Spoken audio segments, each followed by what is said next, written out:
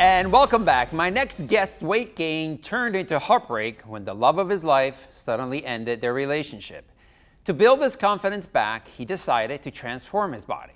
Joining me via Skype with his amazing weight loss story from E's Revenge Body with Khloe Kardashian is Will Ontiveros. Hi, Will. How are you? Hey, how's it going? Thanks for um, having me. Oh, no pleasure. It's, it's, a, it's, it's an honor to have you on TV, really.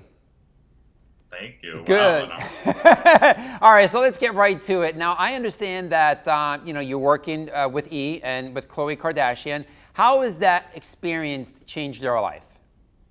I mean, it's completely changed my life. I uh, was very overweight and sad to start with, and since meeting Khloe, I was given all these tools and people to help me completely change my life, mind, body, and soul and I think when you think of a weight loss show, you think it's entirely going to be about your body and transforming, but it changed every aspect of my life.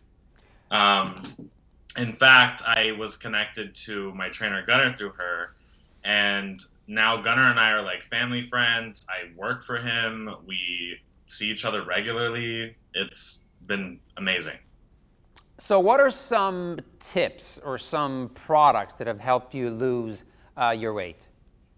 I think um, if you're severely overweight and you're trying to lose weight, you see results quicker just because it's easier to lose that massive amount of fat or whatever you're trying to achieve. But then there's this point where you kind of plateau. And I feel like everybody gets that level, or you're trying to just maintain.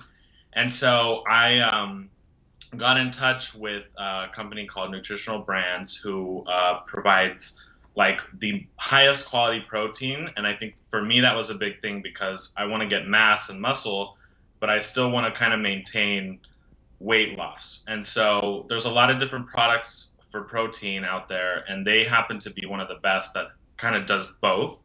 So um, I use their protein, and I suggest that above any other standard just because it's higher quality.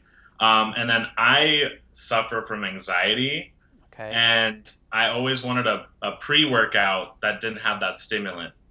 Mm. I want to still feel like I'm getting my workout in, but I don't want to be like kind of like all over the place. And so they also have um, a stimulant free kind of like pre workout that I've been using to help you kind of like elevate your gym, mm. you know? So, Will, let me ask you something. I, I know that this happened because you broke up or actually the breakup from from from I the relationship. wish I was the one who broke up with him. Yeah, uh, and it must have and it must have felt horrible. But how did how did you overcome that? I know that it had to be there had to be a time when you're like you were depressed and maybe you didn't feel too good about yourself. What what got you out of that? Um, I think for me, it's different for everybody. But I think going through such pain um, actually was good for me I think the best thing that ever happened to me was actually him leaving me. Um, I think everybody copes with pain and challenges in their life differently. And I enjoyed kind of going through that suffering. And I know that sounds really weird, but I think you can kind of take your pain and all your sorrows and turn them into gains. And um, it took me a while. And I will be honest, without the show, I don't even want to know where I'd be.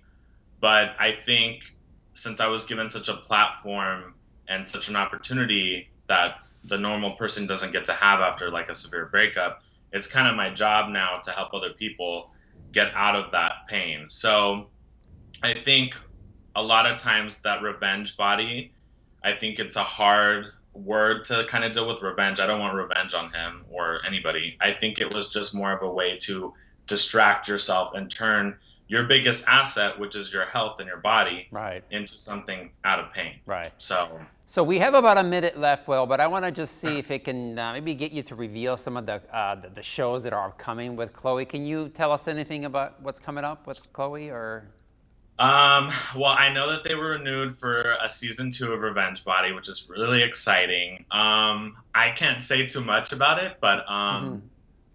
I I think that a new batch of people are about to have an amazing experience, and Khloe is the best mentor, right. um, in my opinion, when it comes to like getting over something like a heartbreak or something traumatic in your life. I think um, she has this stigma of being like a Kardashian. It's so glam, but she's like so real and so genuine, and she mm. really takes her time and and her energy in, invested into these people. And I'm an example of that. And so she's working on season two. I'm excited to see the new batch of people, and mm. um, I know that's what she's got going on right now. Right.